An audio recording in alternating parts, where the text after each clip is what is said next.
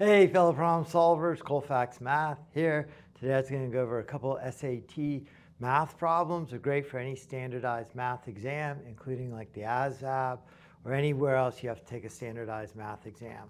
I'm going to go over some big geometry ideas to help solve this and word problem ideas.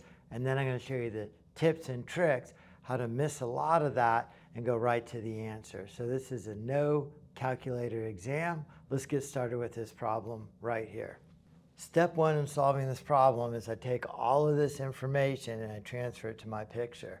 Triangle ABC above is isosceles with AB equal to AC.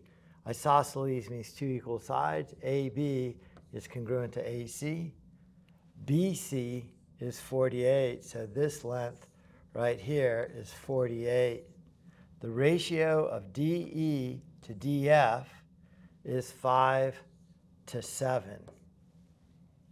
What is the length of DC? So what I'm asked to look for, I label as an X.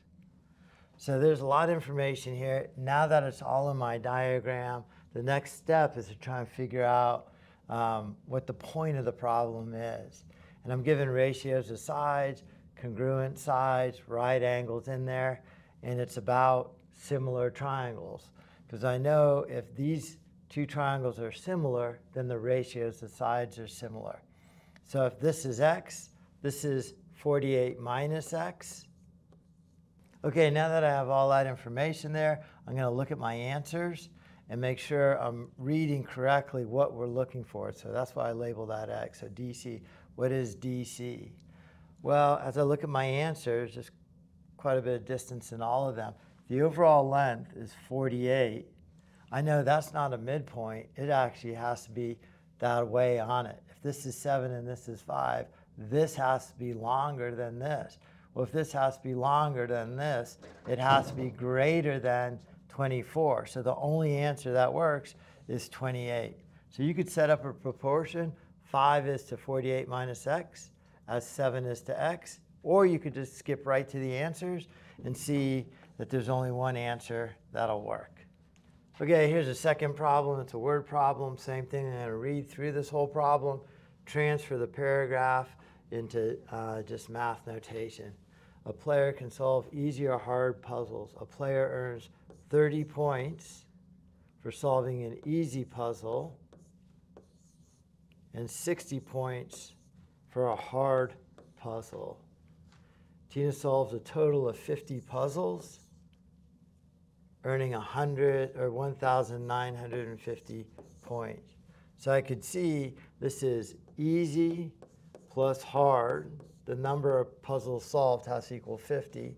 And then the point value is 60 hard plus 30 easy equals at 1950.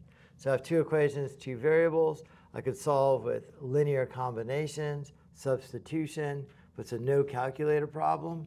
So it has to be easier than that. So I'm just going to pick a couple scenarios.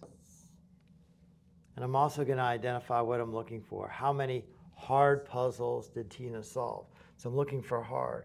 Well, if this solution is 10, she solved 10 hard puzzles, that would mean it would have to be 40 easy puzzles. Let me plug that in here and see if it even makes sense.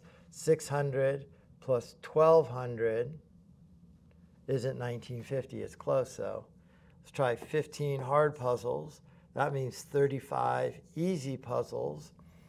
So 15 times 60 is 900 plus 1,050 is equal to 950. That's the answer that works.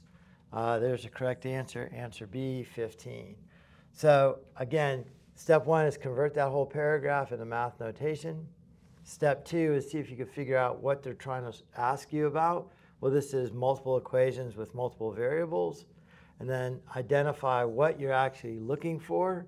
Look towards your answers to see if you could eliminate answers and go right to the correct answer. Okay, hopefully that was helpful. Thank you.